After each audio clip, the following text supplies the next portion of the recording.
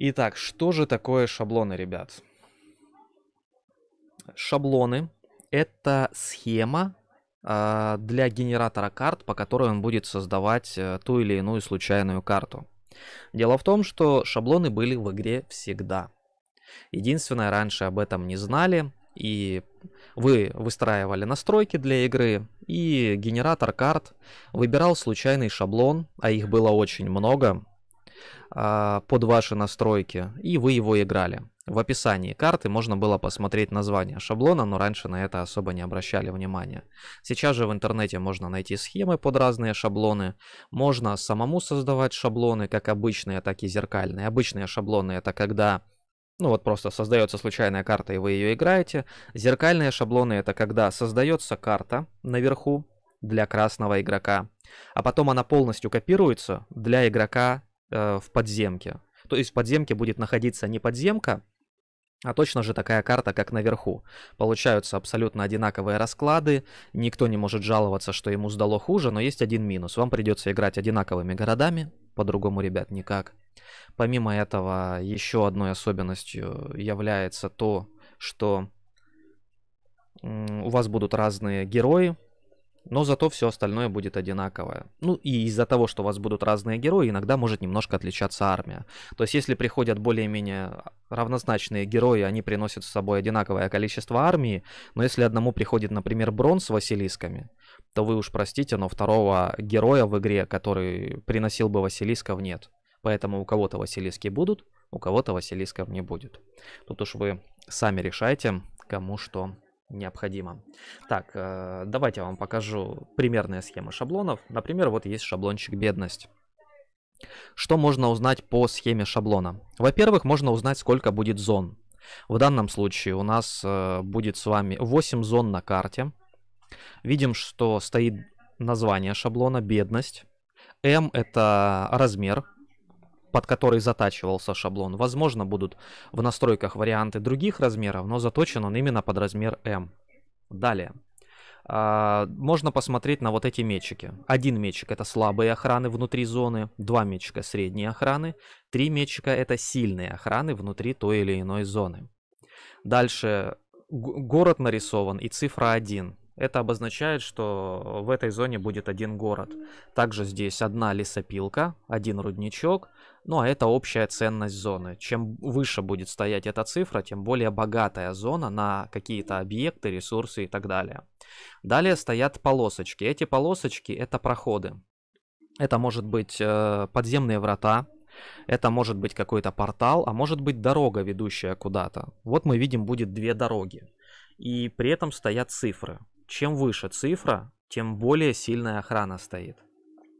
Например, 3-4 тысячи охраны, вот такие вот 3-4. Может стоять просто 4, а может 4 тысячи стоять. Это одинаково, в принципе.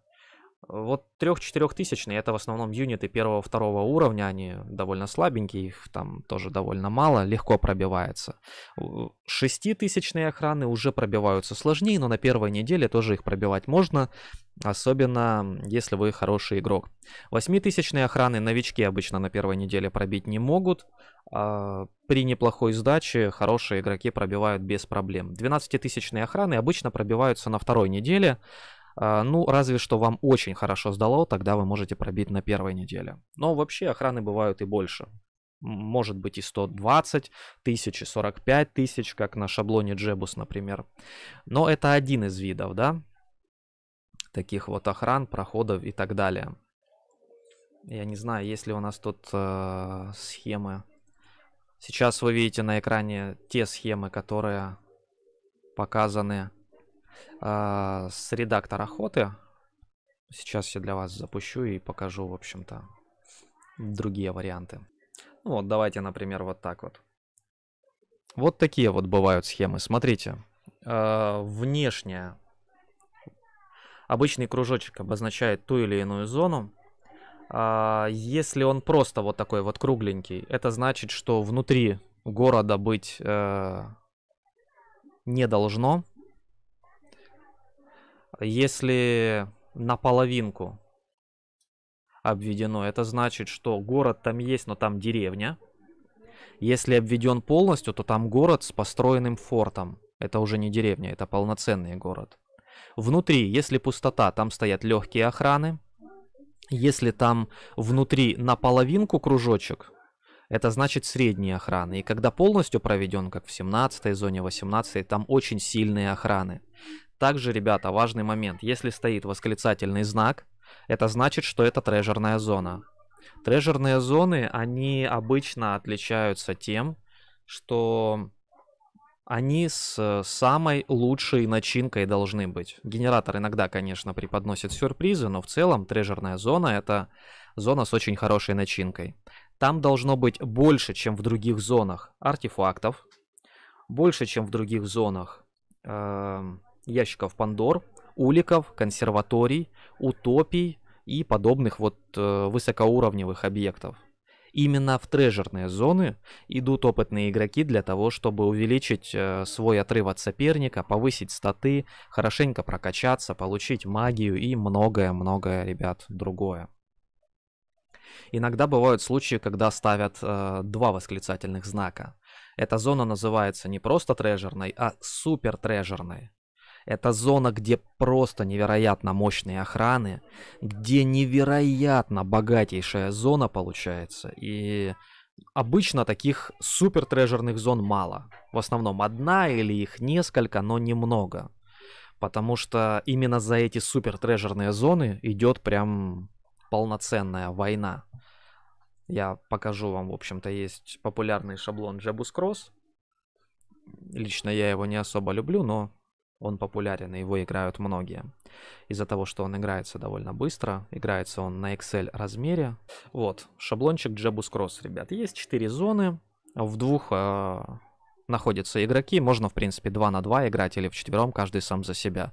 И у всех есть только по одному проходу 45-тысячному. Он не пробивается в основном на первой неделе, есть, в принципе, герои, которые могут пробить на первой неделе. Конечно, это Луна, это Тант, иногда это может быть Галтран.